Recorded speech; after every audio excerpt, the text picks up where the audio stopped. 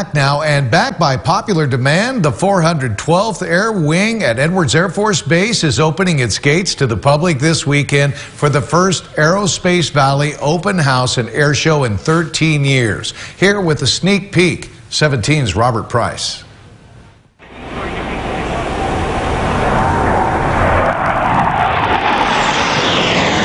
The U.S. Air Force is back in the entertainment business, in a manner of speaking. The Aerospace Valley Open House and Air Show takes place this Saturday and Sunday at Edwards Air Force Base in East Kern.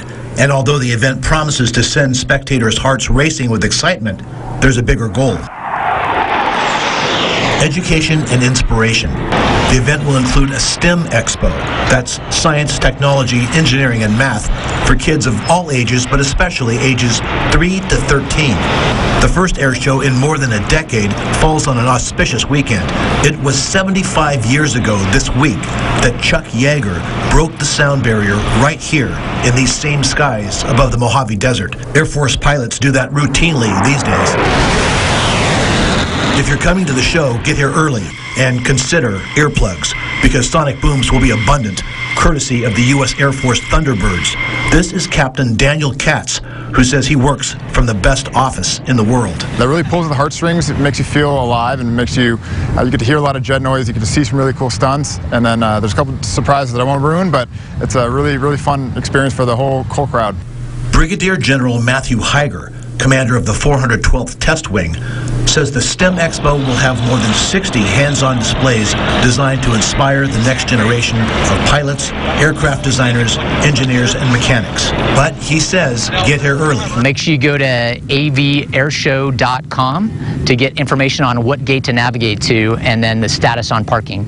I also encourage folks to download the Edwards Air Force Base app in addition to the Air Force Thunderbirds, performers will include the Wings of Blue parachute team, several NASA aircraft, five world-renowned aerobatic performers, and nearly every aircraft in the modern USAF inventory. What more could a fan of military aviation ask for? Maybe just this, free admission but only for the first 50,000 people on Saturday and the first 50,000 on Sunday.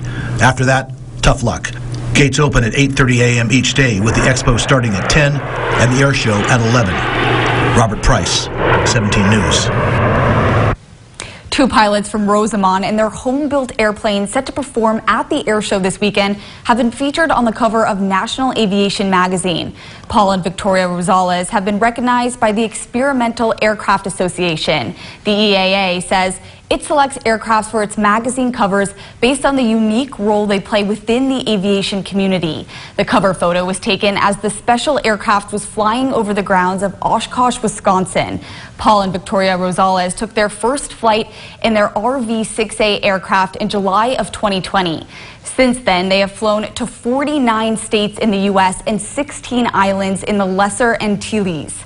As of this October, the pair have flown over 5,000 hours, the equivalent of flying 33 times around the world at the equator. That is a lot of time in the pilot seat. It is. Bottom line.